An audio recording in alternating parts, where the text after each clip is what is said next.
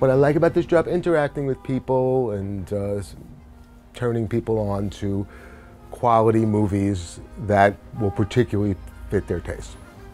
But with, with an older clientele, uh, the amount of choice is far less important, important than the quality of, of, what's, of what's there and the knowledge of what the, the quality is, which is very hard to find.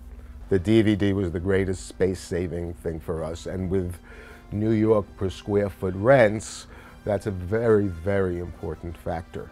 We couldn't, if, if, they were just VHS now, no one could possibly survive because the amount of space that the VHS took is prohibitive in terms of square footage prices in Manhattan.